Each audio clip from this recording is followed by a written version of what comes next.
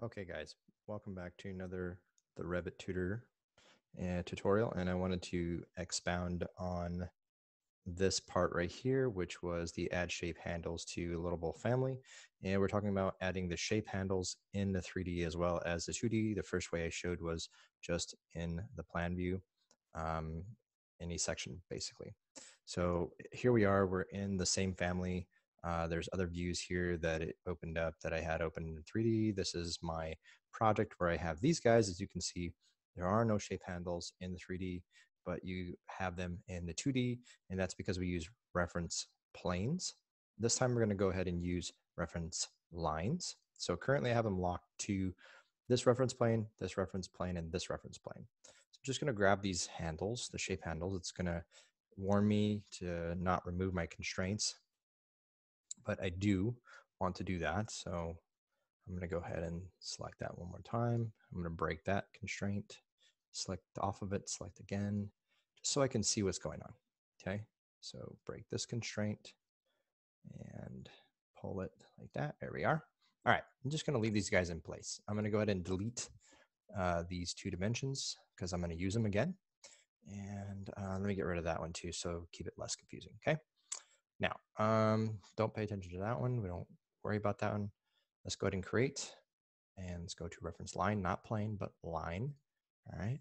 And we'll just uh, go ahead and lay those. Now, see how I'm trying to draw it in. The reason why it's not coming in is because of my visibility graphics.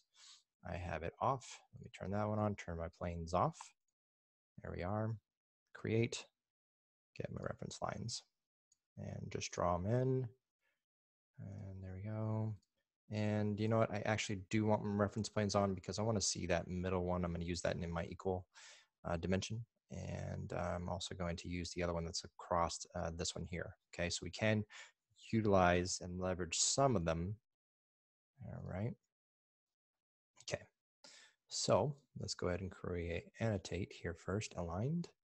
And we're going to say that uh, from this reference line to this reference plane to this reference line. We're going to make those equals. All right. And then we're going to use the overall on those. And then, uh, oh, uh, yeah, this guy right here. Right here. I'm going to tab until I get to the reference plane. Right there. Here we go. Now I'll assign a parameter that I've already made ahead of time. Okay, so this guy is going to be the depth. And as you can see, it pulls it down. And this guy is going to be our overall length parameter. Here we are, and that's all adjusted. Okay, now we need to assign the geometry to those lines, okay? In this particular case, I'm gonna align this one first. It so happens that my reference planes are in the same place, so let me just kind of get those out of the way a bit. Uh, let me see if I can tab to get a hold of these other reference lines that are below here. Tab, these reference planes are kind of in my way. They appear to still be locked to it for some odd reason those out of the way. Okay. Now, uh, let's go ahead and use the align, and we're going to align to this reference line, lock it to this right reference line, lock it to this reference line, and lock it. All right. So we are ready to go.